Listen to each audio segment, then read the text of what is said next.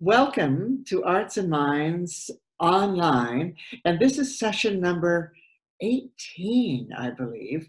Uh, we've been at this for, for 18, well, more than weeks because we don't meet every week. But anyway, welcome to Arts and Minds Online. Uh, and we're going to continue with our road trip across Canada. Uh, we've been doing this now for a while, and, and I've had fun doing the road trip. It's coming to an end and needs to because we need soon to pack up and head home before the snow flies. So uh, today we we have reached the west coast and we're in beautiful British Columbia. Uh, and my gosh, there's a lot, a lot uh, that could be painted from beautiful British Columbia. It's probably our postcard province, I guess. Uh, mountains, uh, coastline, the sea, uh, wonderful uh, skiing uh, villages. Uh, Whistler comes to mind. Um, fishing villages as well. It's just it's just a beautiful, beautiful province.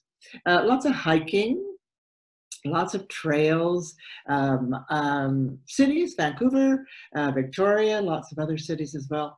So with all of that, I could not choose. I could not come up with with a scene that I wanted to do from beautiful British Columbia. So I thought, well, there is an icon that's kind of associated with BC.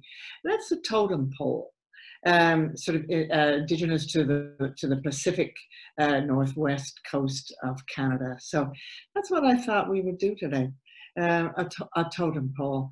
Um, they were first created by uh, the First Nations people and carved out of uh, red cedar trees. Uh, that, some of them, we think of them as being tall, tall, magnificent. Some of them were not so tall, uh, but ones that I've seen, you look way, way up uh, to see the top, the top of the totem pole because cedar trees are, excuse me, very tall. Um, originally, I understand that the carvings were were quite simple. The, the, the carvings were done, and there wasn't a lot of detail put on them. But over time, more detail was added, more color, more painting on them instead of just just the wood.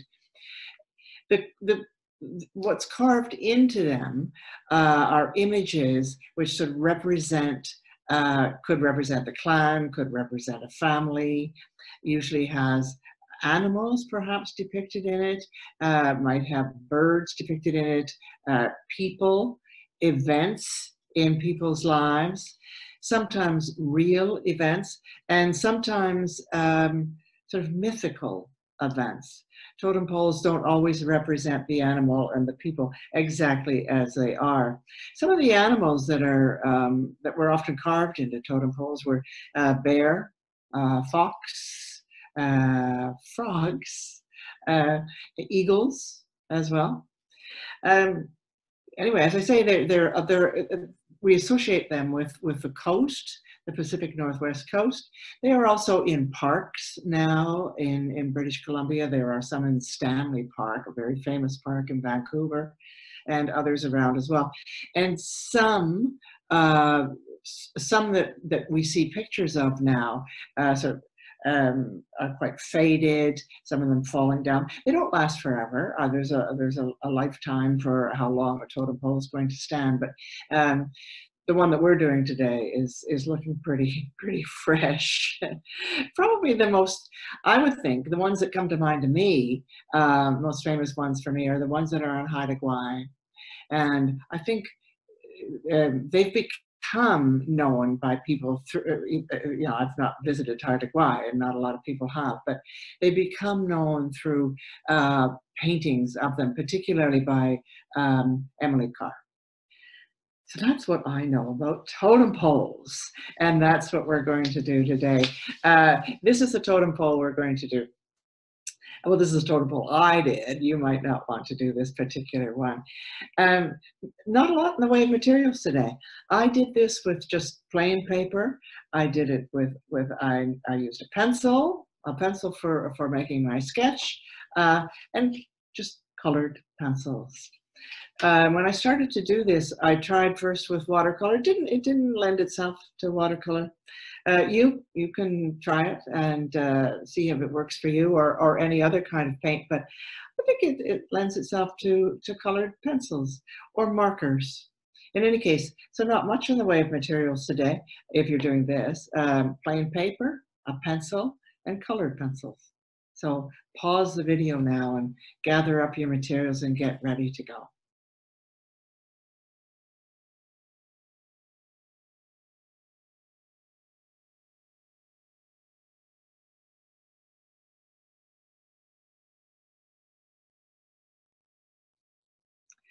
Okay, let's take a look at the reference for a sec.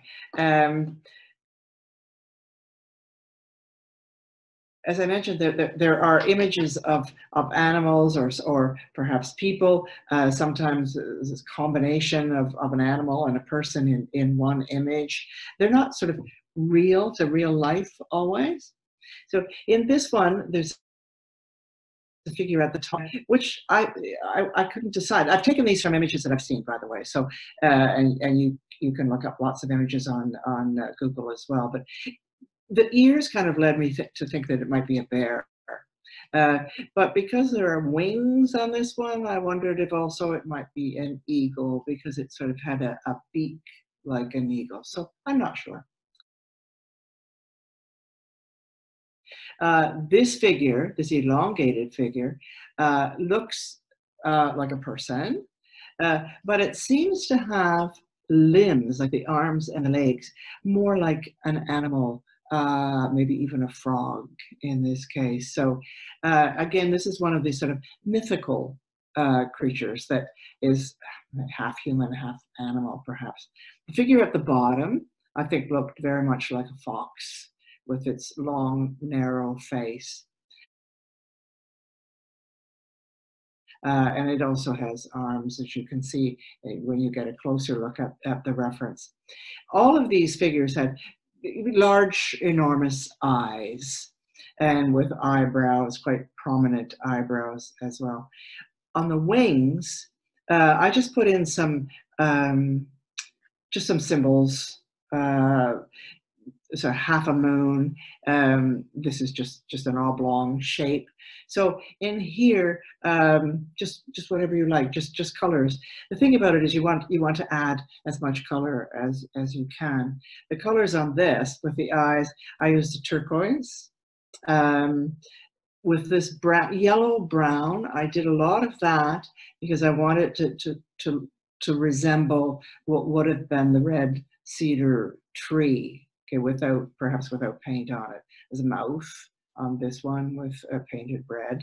Um, and I used a lot of uh, purple on this one as well, which I mixed up some, I, I, I did some red crayon, uh, colored pencils, I'm sorry, red colored pencils and then some blue over top of it to, uh, to come up with a purple. So that's our reference. All right, and, and you will see that from time to time as we go through. Um, I, I, we have a couple of line drawings. Uh, this, this line drawing, which I would like you to do first, is just showing very, very basic shapes that you will build on when you when you draw your symbols on yours. So um, do the I did it with a marker so it would stand out and you could see it, but you should do it with pencil fairly faint so because you're going to rub some of this out. So I started with just a, a, a square box at the top. Then I did that elongated shape to just show that. And then a less elongated, but um, not square, uh, other shape down at the bottom. And then I just sketched in a shape of wings on the side. So uh, my suggestion is that you you take take a minute or two and with your pencil and paper uh, just draw these shapes. Uh, it doesn't matter the size. This is an eight and a half by 11 just piece of, of uh, printed paper, print paper. So uh, it's, it's sort of a nice size for, for this uh, project. Um, so take, take a minute or two and just draw those, those very simple shapes and then come back. Okay. You're back. uh, now, there we go. This is what we're going to do. Going to add on to those those simple shapes. And I know that I'm not going to necessarily bring this any further because um, Herman will take a picture, use a picture to show you on the screen as well. But let's just take a look at what's done here. I added uh, the drawings that you saw on the reference, but I encourage you to, if, if you don't like these, if you would like to do other animals or people people to represent your family or your history, do it that way. Uh, if I were going to do mine, there'd certainly be a cat on there, for example. So uh, you can do whatever, you know, this is your totem pole. So uh, think how you would like it to represent you, all right? Or, or use these symbols if you like um, put in some designs, half moon, stars, whatever designs you want here. You can also, if you don't want to put in like this, these body parts here, just put some shapes in there or just color, right? Just, it doesn't have to look like this. Totem poles, there's no two, there's no two alike. So um, um, I, I, encourage you to, um, to make it your own totem pole. Um, and you know, we started with we started with this line drawing of the of of the shapes. Obviously, when you start to do it, you're going to go. you're going to draw outside the box. you're going to go outside the box with some of these. Uh, but that was just to give you a, a rough outline. And then with the lines that were there that you don't want, you can just just erase those. This is the main feature of what you're going to do today. So I want you to take some time now and work on, um, it, this will be up, uh, but take time on, on, on making your totem pole yours and experiment with that a little bit. Okay, so leave you with that for, for a few minutes and, uh, and then come back.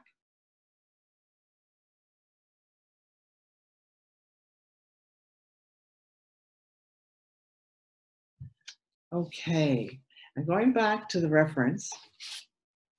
The reference now.